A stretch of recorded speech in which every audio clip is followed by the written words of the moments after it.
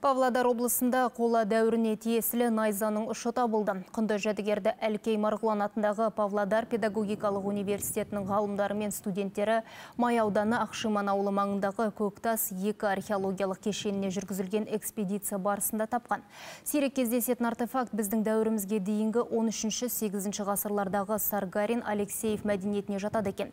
Сондай-ақ жерлеу орындарын зерттеу барысында адам сүйектері, керамикадан жасалған ыдыстардың сынықтары, қолдан жасалған жебелердің ұштары да табылыпты. Енді бұл жәдігерлер қажетті зертханалық өңдеуден өтеді. Мен өзім тапқан болатынмын осы қола бұйымды. Бұл бұйым мен үшін үлкен жаңалық болды. Себебі осы қола дәуірінің кезінде қоланың бағасы бүгінгі таңда алтынмен бірдей болған. Ал кейін басқа да қорғандарда осы қоладан жасалған бұйым табылған.